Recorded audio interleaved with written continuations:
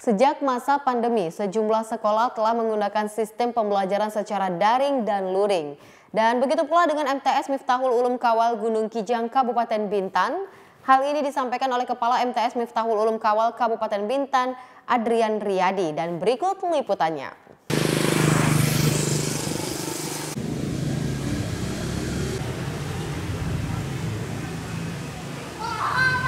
Jadi metode yang kita gunakan itu yang pertama kita menggunakan metode daring atau dalam jaringan dan yang kedua adalah metode luring. Jadi memang di setiap uh, metode ini ada beberapa hal yang mungkin perlu diketahui. Kalau daring itu memang kita memaksimalkan anak-anak ini belajar secara online, di mana ada beberapa media atau aplikasi yang kita gunakan.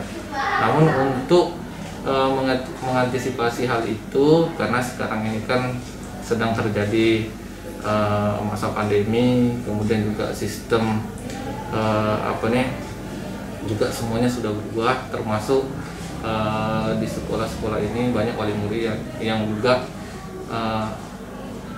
berdampak di ekonomi. Hmm. Jadi kita siapkan metode kedua yaitu luring, di mana nanti siswa akan diberikan tugas ataupun uh, pembelajaran melalui via WhatsApp. Kemudian nanti per dua minggu sekali mereka mendatang kembali ke sekolah mengumpulkan tugasnya ke wali kelas masing-masing hmm. dengan mematuhi protokol kesehatan yang sudah kita siapkan. Kalau kendala tidak menutup kemungkinan memang ada kendala.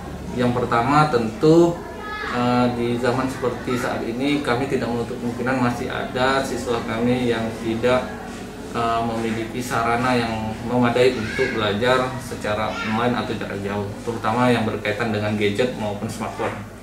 Nah, itulah menjadi kendala kedua yang menjadi kendala atau keluhan sekarang oleh wali murid adalah sulitnya uh, untuk menyediakan paket kuota internet untuk anak-anak di mana uh, itu sudah menjadi hal yang mengharuskan untuk orang tua memenuhi apalagi sekarang kita yang kita ketahui banyak sekali yang berdampak secara ekonomi.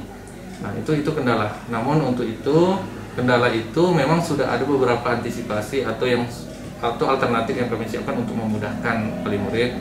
Bagi yang tidak memiliki smartphone ataupun gadget, nah, itu biasanya kita siapkan dengan metode anak datang langsung ke sini, nah, menjemput tugasnya per minggu. Nah, nanti bisa datang ke setiap guru mata pelajaran masing-masing dengan catatan harus mematuhi protokol kesehatan sesuai dengan anjuran yang sudah kita terapkan.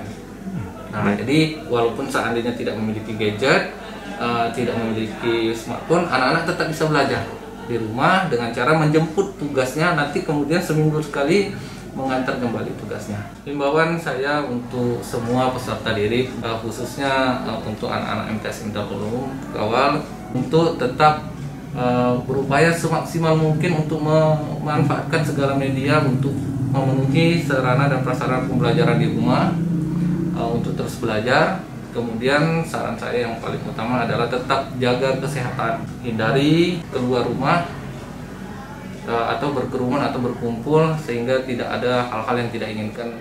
Ramadan Syah TV Kepri dari Kabupaten Bintan mengabarkan.